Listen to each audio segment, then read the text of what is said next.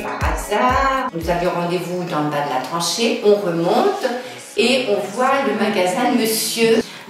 Et après, nous avons pris rendez-vous. Vous êtes venu rapidement. euh, The mountains, watch me shine and fly. on voulait reprendre le même euh, système euh, de cuisine que nous avions. Alors là, il y avait des éléments.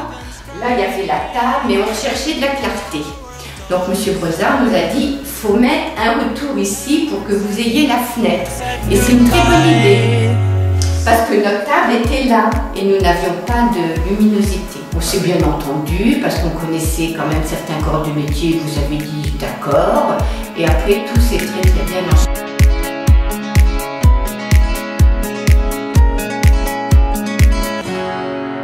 Monsieur Brossard nous a emmené certains corps de métier, mais nous on en connaissait surtout le carreleur a proposé une peintre très très bien. Elle nous a fait toute la peinture et après elle nous a fait ce joli tableau. fly. But then crack the thunder. Mon lave-vaisselle ici, très pratique.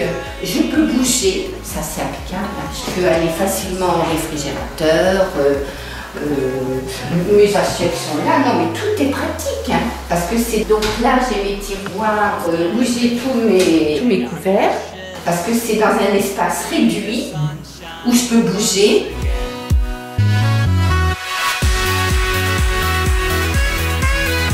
Grand tiroir où je mets tout. Là aussi, c'est mes, mes ustensiles dont je me sers. Plein de rangements. J'ai plein de rangements. Je suis beaucoup dans ma cuisine. La télé, je peux regarder le soir si je regarder euh, pendant que je cuisine. Ah non, non, je me plais beaucoup dans la cuisine. J'ai des amis qui viennent. Oh, ben on reste là, on est bien là. Tout s'est très bien passé, tout, tout a été respecté. Lui nous a, vraiment euh, proposé ce- ce- cette façon d'installer notre cuisine, alors que nous on était restés dans l'ancien schéma et les autres l'an- ne nous ont rien proposé. Ça nous a quand même beaucoup plu. Vraiment très fonctionnel, euh, non, on est très très contents. again.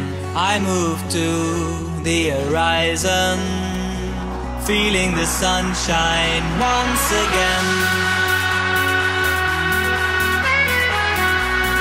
Feeling the sunshine once again. feeling the sunshine once again.